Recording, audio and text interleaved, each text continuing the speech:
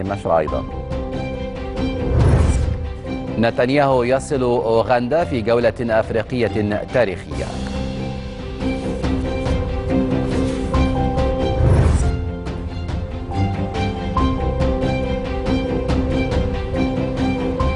أهلا بكم ونبدأ النشر من مجلس الوزراء الذي قرر في اجتماعه اليوم برئاسة المهندس شريف إسماعيل عدم تطبيق التوقيت الصيفي الذي كان مقررا تطبيقه اعتبارا من يوليو الجاري. وذكر بيان صادر عن المجلس أنه في ضوء ما ورد من مجلس الوزراء بشأن تعديل القرار بقانون رقم 24 لعام 2015 بوقف العمل بالتوقيت الصيفي وعدم تجديده مستقبلا.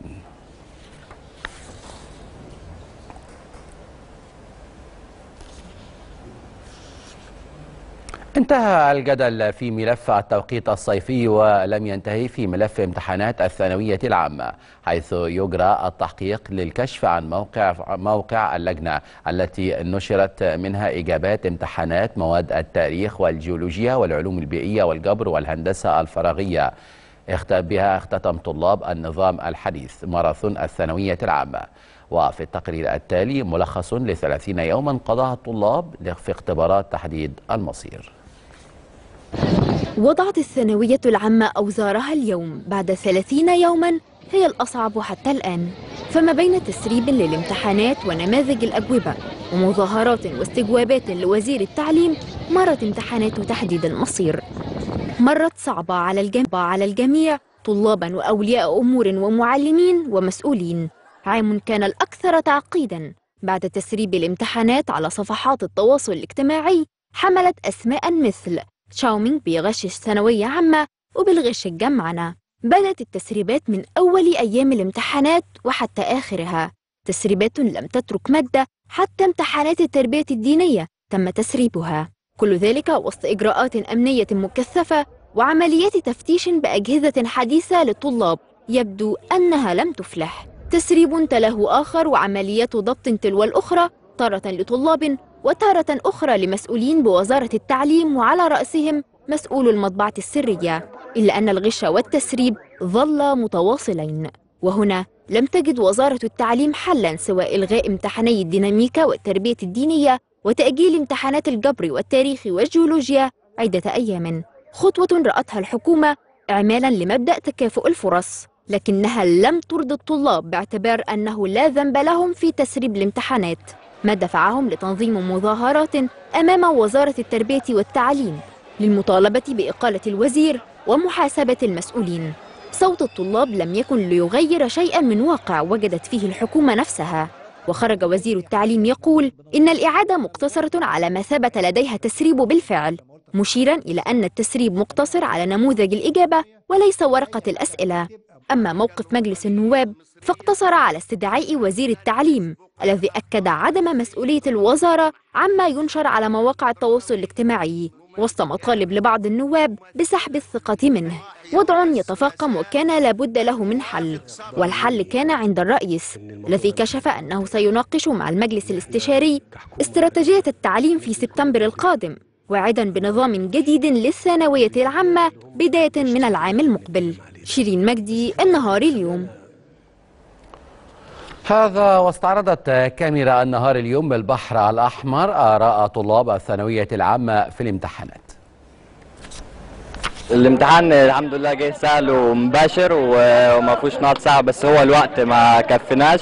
وفي الأسئلة بتاعت الهندسة دي بتاخد وقت طويل بس الحمد لله الامتحان جه كويس وسهل. لا جه تمام مباشر وكان حلو والهندسة الفراغيه برضو جت حلوة وحلينا كويس يعني كان جاي مباشر. بس هو الوقت يا دوب يعني ساعتين بيكفوا بالعافية بس. بس جه مباشر امتحان وجه تمام قبل الامتحان كان في حوالي مسألة أو مسألتين متسربين للأسف يعني. قبل قبل الامتحان مش بعد الامتحان. الطلاب لا تنتهي حيث يبدأ مكتب تنسيق القبول بالجامعات والمعاهد الاثنين المقبل ولمدة سبعة أيام صرف أوراق بطاقات اختبارات القدرات لطلاب الثانوية العامة. الراغبين في الالتحاق بكليات الفنون الجميلة والتربية الرياضية والتربية الفنية والتربية الموسيقية والتربية النوعية.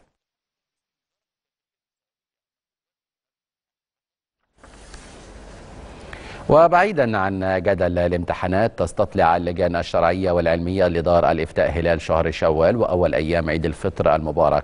ويتراوح عدد اللجان التي ترصد الهلال بين سبع واثنتي عشرة لجنة موزعة على جميع أنحاء الجمهورية.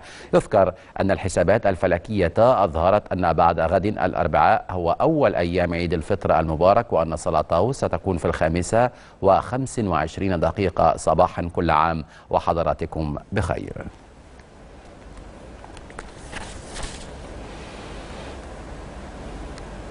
وإذا كنا نتحدث عن العيد فملابس العيد تعد واحدة من أبرز مظاهر الفرحة لا سيما عند الأطفال. ورغم ارتفاع أسعارها لكن الأسر المصرية تحافظ على هذه العادة السنوية حيث تزدحم الأسواق في الليالي الأخيرة من شهر رمضان المبارك. بدأت رحلة المصريين في البحث عن فرحة العيد بعدما فرغوا من رحلة الصيام وشراء الياميش في شهر رمضان. رحلة ترى آثارها في الزحام المتصاعد أمام محال الملابس الجاهزة قبيل عيد الفطر. ولكن عزة ربة المنزل المصرية لم تنتظر الأيام الأخيرة وشرعت في البحث عن ملابس لها ولزوجها ومن قبلهما لأبنائهما الأربعة منذ بداية رمضان. قلنا إيه نبدأ إيه من 10 رمضان؟ نزلنا بقى إيه إحنا من منيرة. إن هنا شوية يعني من كل حتة إيه ندور برضه. الأسعار اللي هي مناسبة لينا. كده. أسعار غالية نار السنة دي الصراحه الطقم 500 600 يعني عندي بنتي آه، تالتة سياحه وفنادق. دي جايبة لها الطقم الواحده ب 750 جنيه. عزة ليست الوحيدة التي تبحث عن قطعة ملابس مناسبة وسط أكوام من الملابس مرتفعة الأسعار. تسير وسط زحام قد يتخيله البعض معبرا عن الرواج وكثافة حركة الشراء. ولكن أعداد المتفرجين تتجاوز عدد الذين يقبلون على الشراء. هنشتري لها فستان إن شاء الله هي ورزقها أكيد هنجيب لها يعني بس مش شرط ب 135 يعني. هدومنا إحنا أرخص من هدوم الأطفال. يعني الهدوم بتاعنا يعني إحنا البادي ب 85 ب 125 الأطفال ده الشورت بس ب 135 أنا قلعته لها قلت له لا خلاص شكرا معلش. طلع كبير عليهم شوية. رحنا واخدين بعضنا ومشينا. اسعار غالية طبعا و... فبس في الآخر طبعا مضطرين طبعا ان إحنا نشتري والناس كلها بتشتري يعني داخلين يعني مناسبة العيد وكده يعني. ف... فمضطرين طبعا إن إحنا نشتري طبعا يعني. هعمل إيه؟ لازم أشتري. لازم أشتري برضه عشان العيال تفرح. فرحة العيد. فمضطر أجيب. ارتفاع سعر الدولار وأسعار المواد الخام بالمصانع. أبرز الأسباب التي يسوقها أصحاب المحال التجارية لتبرير ارتفاع أسعار الملابس التي قد تحرم البعض فرحة الشراء. السنة دي الموسم مضروب في حالة ركود بسبب غلاء الأسعار الرهيب اللي إحنا فيه. يعني كل موسم بيقل. يعني زي ما انت حضرتك شايفة كده المحلات كلها فاضية مفيش زباين. الزحمة في الشارع لكن ما حدش ماسك شنط. الدليل على ان مفيش حد شاري حاجة من أي محل. الحاجة غليت. يعني أنا مؤاخذة كنت بجيب الشبشب ده ب 180 جنيه يجيب ب 230 جنيه يجيب ب 360 جنيه يجيب بر- الطرحة دي جبت ب 420 جنيه. طب نبيعها ب 45 ب 50 جنيه الزبون بيجري وبيمشي. طب مش عارف كام دي؟ ب 45 بيجري. الزبون مش لاقي. الناس تعبت مش عارف في إيه.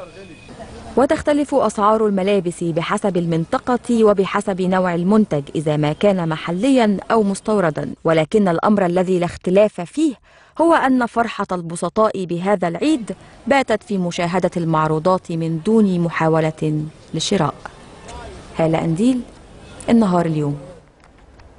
ومن فرحة العيد لفرحة عودة ضيوف الرحمن إلى أرض الوطن بعد انتهائهم من أداء مناسك العمرة لهذا العام حيث تواصل مصر للطيران تسير جسرها الجوي لعودة المعتمرين وحتى الخامس عشر من يوليو الجاري الموافق العاشر من شوال وحتى أمس الأحد عاد نحو 20 ألف راكب على متن 87 رحلة جوية إلى أرض الوطن.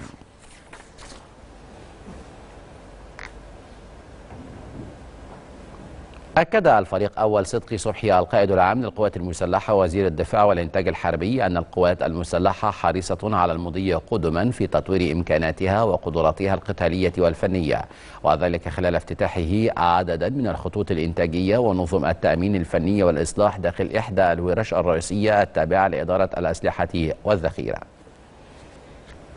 افتتح الفريق أول صدقي صبحي القائد العام للقوات المسلحة وزير الدفاع والإنتاج الحربي عددا من الخطوط الإنتاجية ونظم التأمين الفني والإصلاح داخل الورش الرئيسية التابعة لإدارة الأسلحة والذخيرة. واستمع القائد العام إلى شرح تضمن مكونات الوحدات الإنتاجية الجديدة والمرور على الأقسام المختلفة بالورش التي تم إنشاؤها وفقا لأحدث النظم التكنولوجية في مجالات الصيانة والإصلاح والمعايرة والتي تساهم في تلبية جزء من متطلبات القوات المسلحة من المنظومات الفنية وقطع الغيار للحفاظ على الكفاءة القتالية والفنية العالية لأسلحة ومعدات القوات المسلحة وتطوير أدائها في مختلف التخصصات. وتفقد معرضا لإنجازات إدارة الأسلحة والذخيرة. تضمن نماذج للأسلحة والمعدات والمنظومات الرادارية والكهروبصرية وقطع الغيار ونظم المقلدات ومساعدات التدريب التي قامت الإدارة بإنتاجها وتطويرها بما يتناسب مع طبيعة المهام التي تكلف بها القوات المسلحة. وأكد القائد العام خلال لقائه بعدد من مقاتلي قوات حرس الحدود وإدارات الأسلحة والذخيرة والمركبات والشرطة العسكرية أن القوات المسلحة حريصة على المضي قدما في تطوير إمكاناتها وقدراتها القتالية والفنية وفقا لأحدث النظم العالمية بما يمكنها من الوفاء بالمهام والمسؤوليات المكلفين بها. في حماية الوطن ودعم ركائز الأمن القومي المصري على كافة الاتجاهات.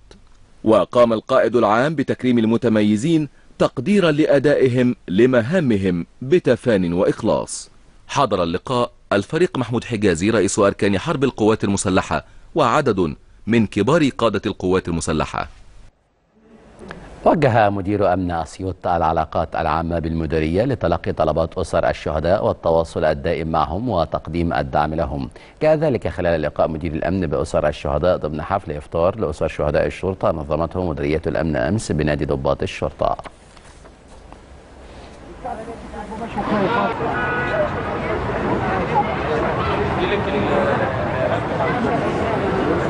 هم شهداء آه، الأمس وقد نكون إحنا الحاضرين شهداء اليوم.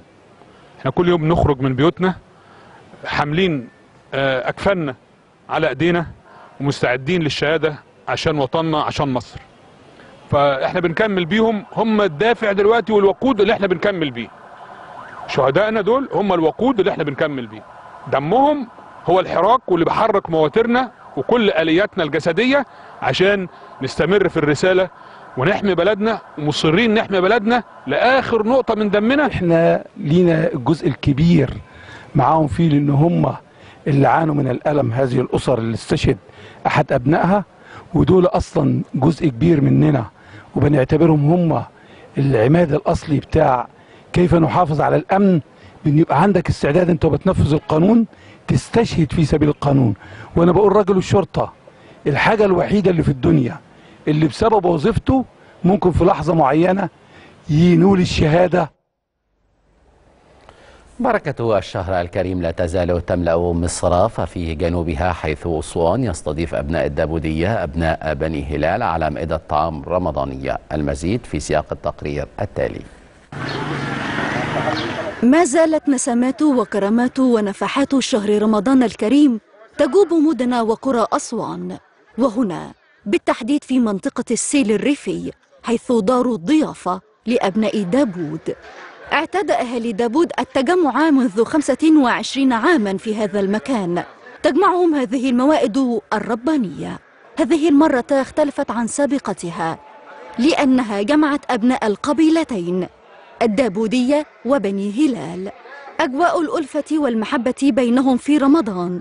تجب ما شهدته القبيلتين العريقتان من تدهور لروابط الود والوصال. ان إحنا الحمد لله رب العالمين كان في أزمة بس السنوات اللي فاتت. الحمد لله بت...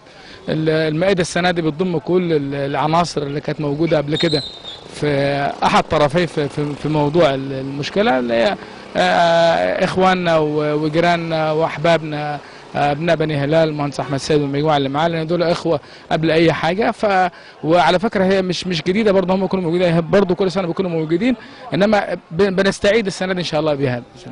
لم يقتصر الأمر عليها بل امتد للقنصلية السودانية التي تحرص على مشاركة الحضور ومباركة القائمين على هذه المائدة. نحن كل سنة وحريصين إنه نحضروا مشاركة ال- ال- ال- المجتمع الأسواني. آه، الجمعيات دابود كلها بتتمثل في دار الضيافة ونحن حريصين أن نحضر هذا الاجتماع يعني معه. الاستعدادات تبدأ عقب صلاة المغرب حيث يقوم الشباب بإعداد العصائر ومنها الإبريق والكركديه وعصير المانجو بينما يفرش آخرون الحصير على الأرض. أجمل ما في هذا اليوم هو الحركة الدائبة من الجميع. الكل يد واحدة والتعاون هو المسيطر على الجميع. كل يوم على مدار الشهر كله كل يوم في منطقة فده اليوم المعتاد لمنطقة السيل الريفي بدار الضيافة وده شيء جميل ومعتادين عليه وكل سنة وحضراتكم بخير والشعب الأسواني كله بخير يعني. وفور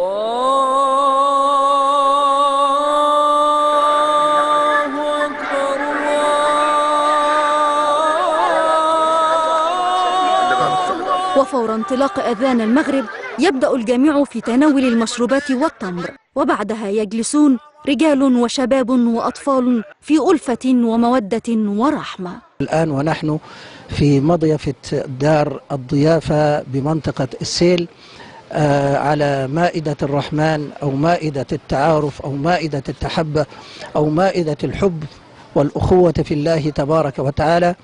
ونجد أن النبي عليه الصلاة والسلام حينما قال من فطر صائما في رمضان كانت مغفرة لذنوبه. هكذا دارت دائرة شهر رمضان كأنه لم يظل إلا عشية أو ضحاها وهذه الأيام والليالي الجميلة تمر وتفنى جميعا والمهيمن باق.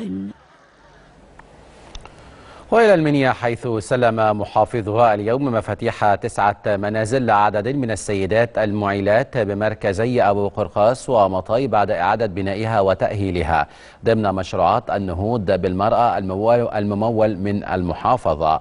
ويبلغ عدد المنازل المستهدف إعادة تأهيلها 104 منازل بتكلفة إجمالية قدرها. ستة ملايين جنيه لتحسين الأحوال المعيشية للسيدات الفقيرات وأطفالهم حيث يجرى اختيار الحالات بناء على بحث اجتماعي تحقيقا مبدأ العدالة الاجتماعية وتكافؤ الفرص. ووافق محافظ الإسماعيلية على مطالب أهالي قرية سرابيوم التابعة لمركز ومدينة فايد بإقامة محطة جديدة لمياه الشرب بطاقة 120 لتر لكل ثانية وتكلفة 16 مليون جنيه بالتنسيق مع الهيئة القومية لمياه الشرب والصرف الصحي. كما استعجل المحافظ إنهاء مشروع الصرف الصحي بقريتي سرابيوم وهويس سرابيوم وإقامة تسع محطات رفع بتوابع القرية. انشاء محطة مياه شرب لقرية س- سرابيوم استكمالا على المحطة اللي موجودة الفعلية اللي موجودة دلوقتي لننهي قصة مشكلة نقص مياه شرب لهذه المنطقة ذات الكثافة السكانية العالية. آه، آه، موضوعات أخرى بقى إن إحنا بصدد إن إحنا ننهي قرارات. آه، نزع الملكية لأماكن تسع محطات صرف صحي آه، بالإضافة إن في لجنة طالعة بعد العيد تعاين المدارس.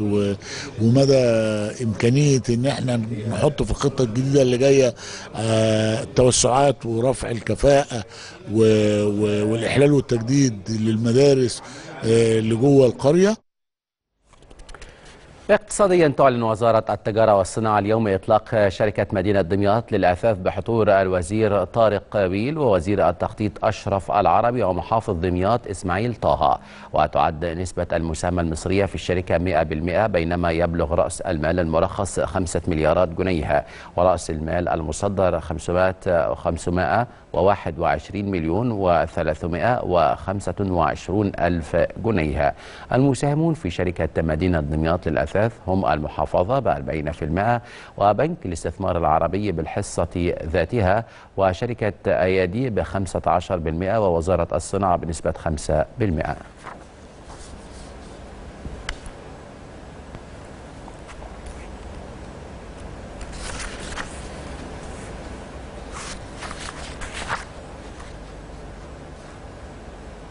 حكومة منفردة أو القطاع الخاص منفرد يقدر يقوم بحجم الاستثمارات المطلوبة علشان نقدر نحقق معدلات النمو المستهدفة ومعدلات التشغيل المطلوبة.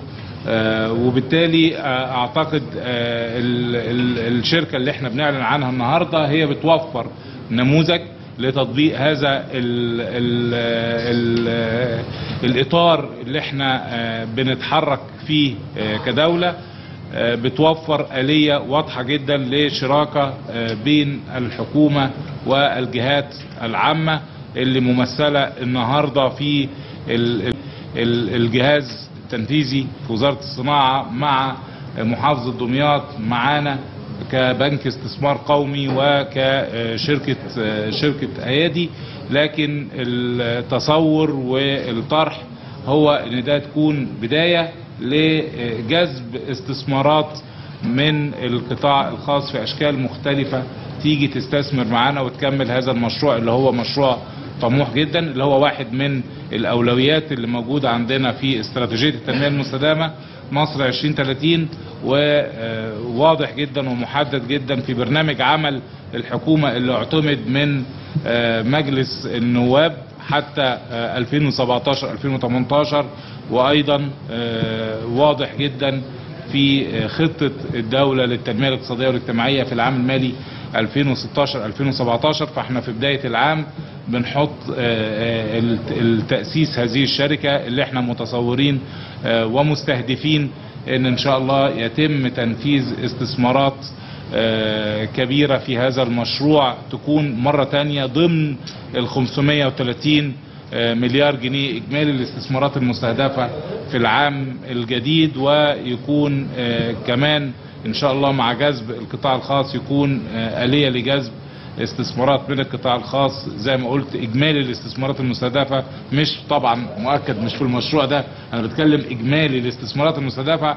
على كل الدولة. طبعا قطاع الصناعة واحد من القطاعات اللي إحنا مركزين فيه آه، جدا. قطاع هو آه، يعني مش عايزين نقول الأهم ولكن واحد من أهم قطاعات الاقتصاد القومي اللي إحنا بنعول عليه كثيرا. في المرحلة ال- ال- القادمة آه، مدينة مدينة الأساس وشركة آه، آه، دمياط النهاردة أعتقد أنها بتحط إطار سليم ونموذج مالي وإداري سليم جدا إزاي كمان يكون آه، في صحيح يعني لحد دلوقتي ملكية عامة.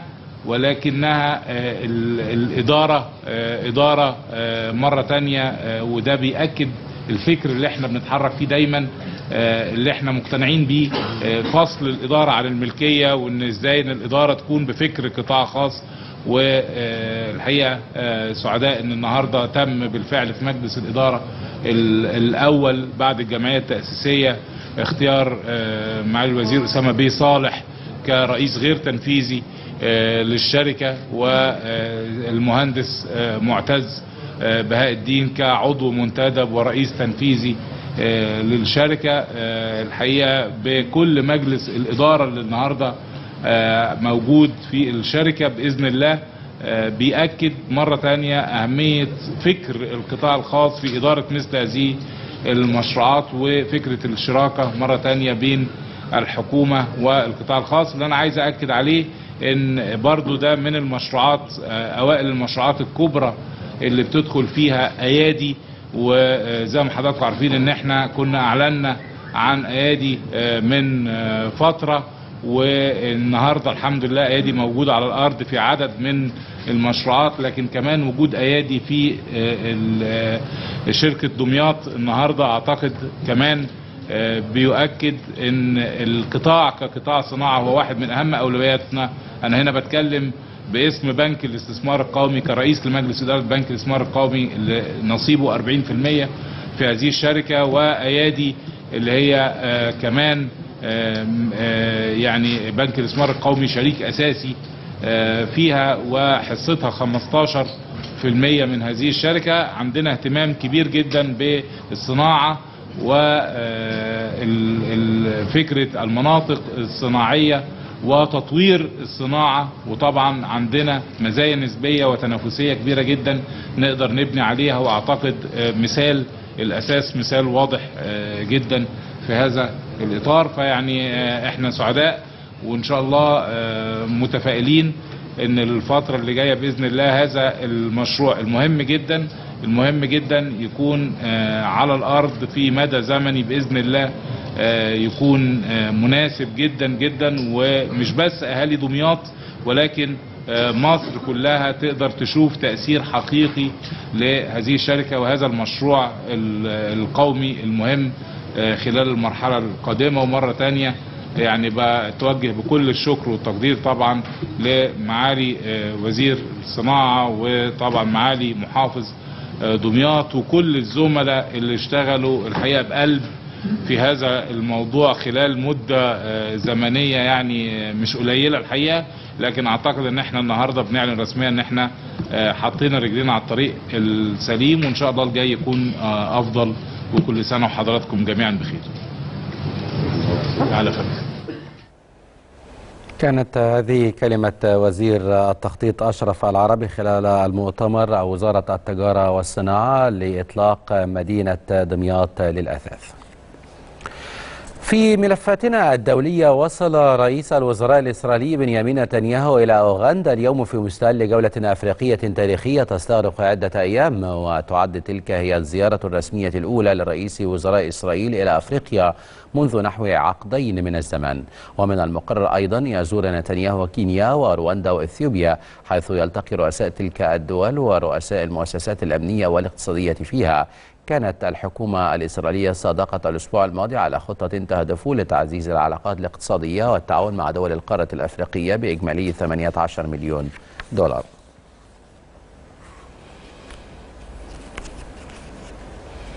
وغير بعيد أعلن جيش الاحتلال الإسرائيلي اليوم قيام قواته بقصف هدفين للجيش السوري في هضبة الجولان المحتلة. وقالت متحدثة باسم جيش الاحتلال إن هدفين للجيش السوري استهدفا استهدفا إثر نيران مصدرها. سوريا استهدفت الحدود مع إسرائيل وألحقت أضرارا بالسياج الأمني ولم تقدم المتحدثة. مزيدا من التفاصيل بشأن الهدفين أو الأسلحة التي استخدمتها إسرائيل في الهجوم.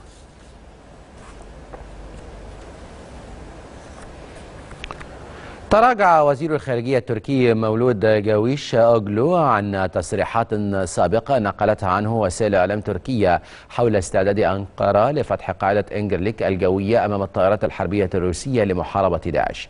وقال جاويش أوغلو إن خلال اجتماع للحكومة التركية اليوم إن بلاده يمكنها أن تتعاون مع روسيا في محاربة تنظيم داعش دون أن يرتبط ذلك بالسماح للطائرات الروسية باستخدام قاعدة إنجرليك.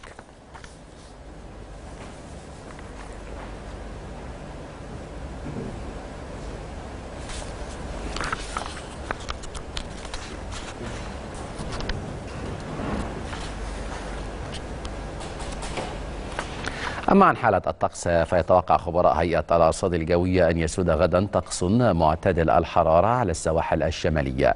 مائل للحرارة على الوجه البحري والقاهرة حار على شمال الصعيد وأن يظل شديد الحرارة على جنوب الصعيد نهارا لطيف ليلا. وفيما يلي بيانا بدرجات الحرارة المتوقعة بإذن الله تعالى.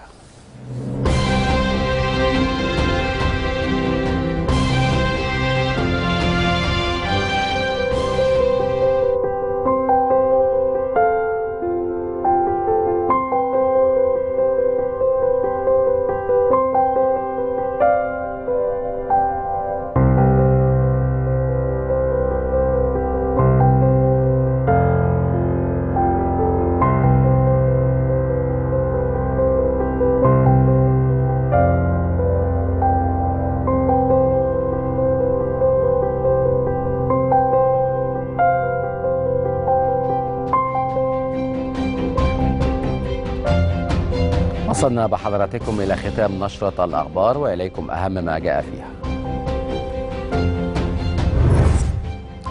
الحكومة تتراجع وتقرر إلغاء العمل بالتوقيت الصيفي. انتهاء ماراثون الثانوية العامة والتسريب سيد الموقف. نتنياهو يصل أوغندا في مستهل جولة أفريقية تاريخية.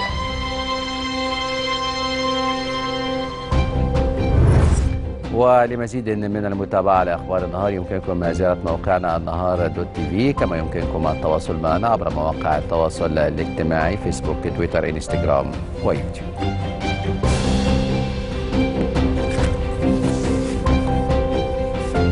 شكرا لكم مشاهدينا الكرام على حسن المتابعة وإلى لقاء جديد.